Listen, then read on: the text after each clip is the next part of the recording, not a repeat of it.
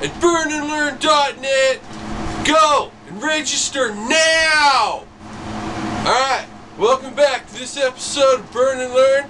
I'm your host, Scott Rogers. I'd like to thank Chuck. He's been helping out with the website. That's real cool. Looks great. Uh, I'd like to thank our friends over in Europe. Thanks for participating and hanging out with us online. It's nice to see you guys. Uh, we're going to do an inside out. We're going to try to gather up the glass. Help you guys the best I can. I realize it's pretty hard. I think you guys just need to get it hot, right? You guys are afraid to get it like really hot. We'll go over that. But first, we're going to go over some colors. These are my favorite colors. Yellow. This one wants to boil a little bit, so I'll coat it before I use it. This one here is Raven. I like this. This is uh, got a lot of color saturation. It's good black to use. Boro stick. This is the they're white. There's a lot of uh, colors they have there, and I'll uh, make a list and post it on the burnandlearn.net. Just regular cobalt. I like to coat colors with cobalt. Take this China white for instance. This is a real high color saturation. Like to use that one. I coat this with the blue. Makes a real nice uh, electric blue looking stuff. Another good one, unobtainium, a real nice sparkly color. You can coat this onto the white.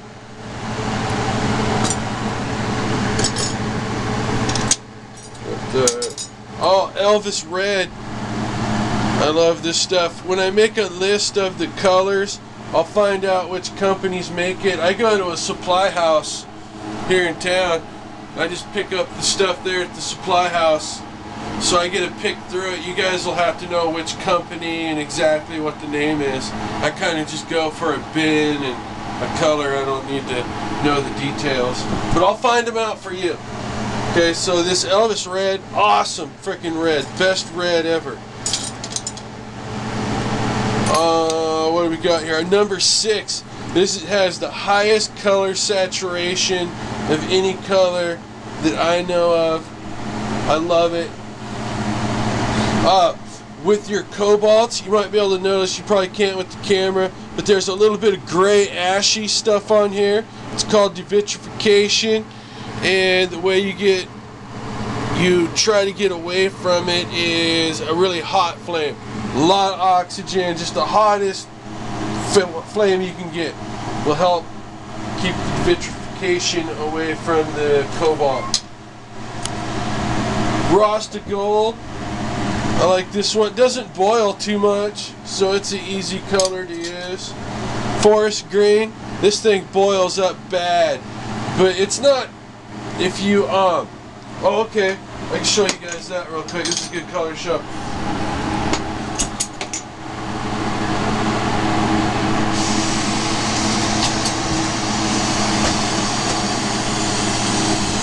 Okay, let's say you got a color that boils. You're going to want to get the, the least amount of oxygen possible. Come way out here. If you come in too close, it might want to boil on you.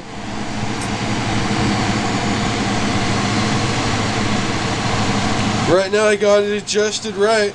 And if I want to, I could pull down a streamer. I'm not going to do that because I don't want to. But what I could show you is this this color will boil. I'll add a bunch of oxygen. I'll add some oxygen to it. Go like that. Uh, look, we got a boiled mess there on the end. Just like that.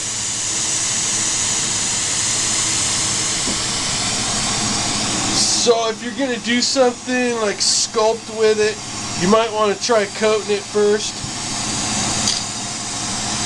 I like the steel wool.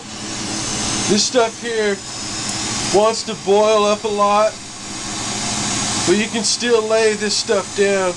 Like I would coat white. I like to coat white with it. Or coat this uh, steel wool's always got to be coated. No exceptions. It's got to be coated with clear.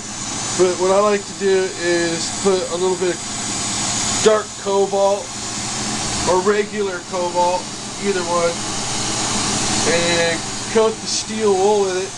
Try to put a thin coat on there, and then when you pull it down, it'll be a blue sparkly color. Or you can do it with a, maybe not the dark Elvis, but a light Elvis red.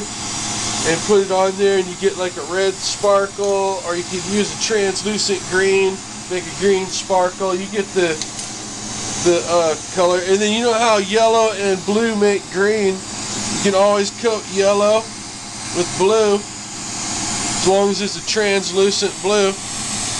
Get a nice green color. Uh, orange. This is a real stable color. It's easy to use. Red, real stable, easy to use. These are, you, you guys probably already know what colors these are, right? These are all your crayon colors. Alchemy does these. So I think this is, uh, this number six is Alchemy. This number, this Raven is Alchemy. Uh, steel Wool. Shoot, I don't know. Uh, I know this is North Star, the forest green. That's it for that. Let's uh, let's get on the torch and we'll gather up some glass. Uh, some of you guys have some trouble on there. It's cool that James is on there and he's trying. I know it's difficult, James. It was difficult for me at first, but just got to keep going with it. You got to be, you got to just like get it as hot as possible. Okay, we're to do that right now. How many minutes are we, Kyle? We are... I think we have eight minutes left. Oh, that's plenty. So we hit the 15 minute mark. Okay, now if you put some... If you put color or clear on the inside, it's got to lay down flat. And if it's not laid down flat, you're going to have to shoot the flame in there and take your carbon rod and push it down so it all lays down flat. But before you even get to laying stuff on the inside, you have to be able to marver, marver this stuff thick. That's how you do it. You use the heat and you use your marvering pad. And you got to heat it up even and you can't pull apart. Can't let your hands drift apart. If anything, you're going to be pushing in a little bit. And I find if I arc it like this, can you see that? I'm kind of arcing that, Kyle? Yeah. Okay. Yeah, we can see that. Okay, well you put a slight arc on it while you're doing this, and it kind of holds that molten stuff up there where you want it. Can you see that? See that, guys? Look. See how I'm doing that? This, is this is exaggerated.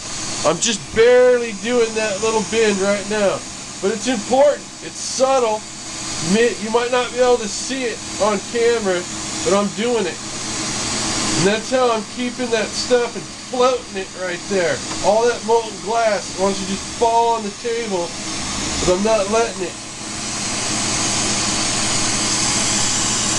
It just wants to fall everywhere. That's how hot you have to get this stuff. And then once you get it super hot, quickly marver it.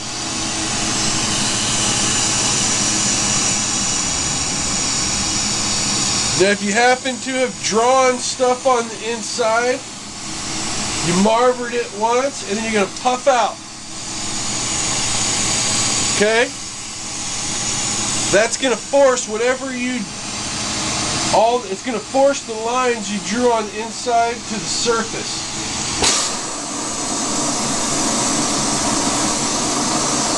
Heat it up again and repeat the same process. Heat it up.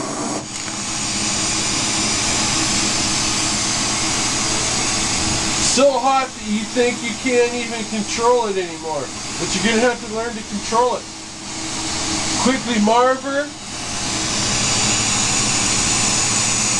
Now by this time your lines should be worked in pretty good. Come back in. Same thing again, you're going to heat this up just to where you think you can't even control it anymore.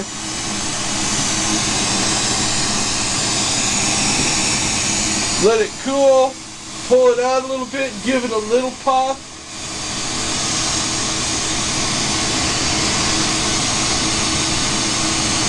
And then your stem is formed. As that's cooling, come in here. Same thing here, you gotta float this stuff, man.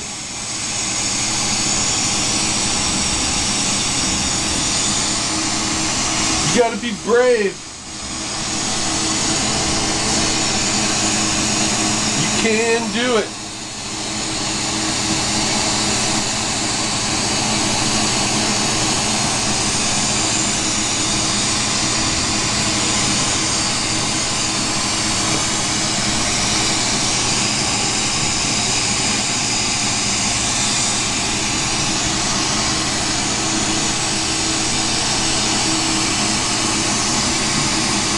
Okay, now while that's cooling, putty off.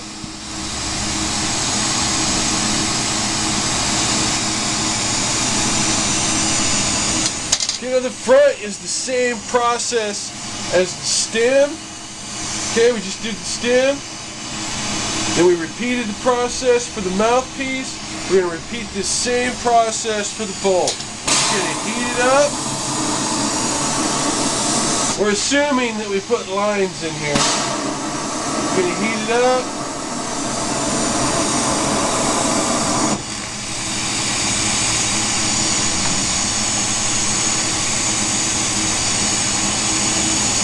Okay? We we're going to assume that we shrunk this thing down. Like really far. And then we blew it out. And then we shrink it down again.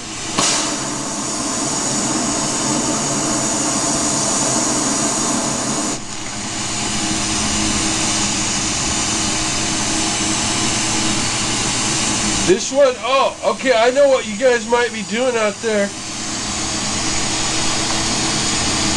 If you spin this too fast, let's say you're trying to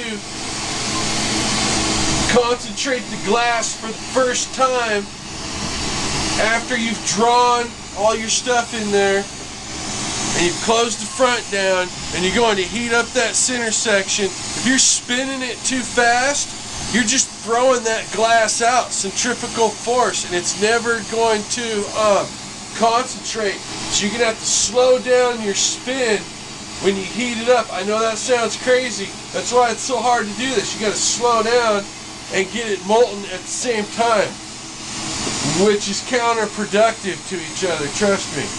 But that's what you got to do. Okay, so we heated the ball up, we shrunk it down, then we blew it out a little bit, then we shrunk it down again. You blow it out, and you make the bowl.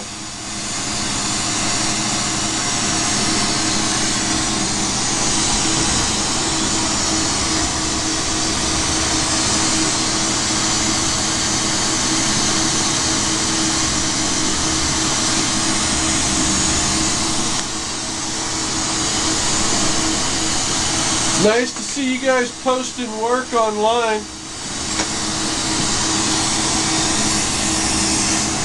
You guys are coming along well. You know, you guys are the future of glass blowing.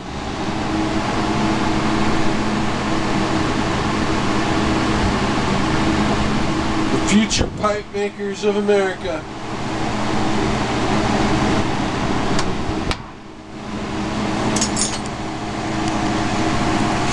Gotta learn to uh, get in the zone. Lately, I've been addicted to the zone. Coming out here and just working and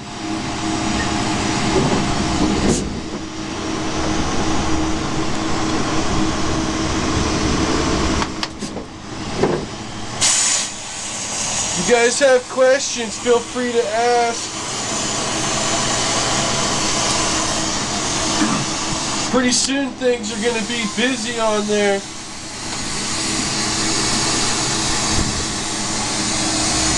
The dynamics everything might change. You know, I might not be there all the time to hang out, chat, and stuff.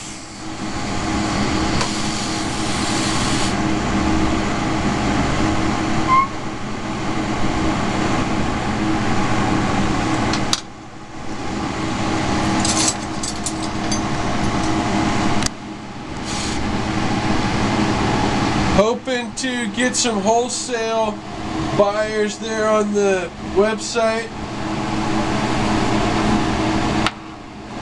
I'd like Burn and Learn to be a place where you know you can get your supplies or not get them but you know hook up with the people that sell the supplies learn how to use stuff you know from the show and then sell your product online, wholesale. You know, maybe even get some sort of uh, uh, some sort of an Etsy gang going. You know, and take over Etsy as far as pipes go. I think they have circles or something. You know, get some big old burn and learn circle going there. Well, I guess that's about it? Yeah, I think we covered a, a decent amount today, so It's been a laid back episode. yeah. It's kind of cold, but you know, the torch keeps things pretty warm in here. Yeah, we got our new lighting system. Yeah, it's high tech. Alright, well, until next time, burn and learn. Love you, fucker.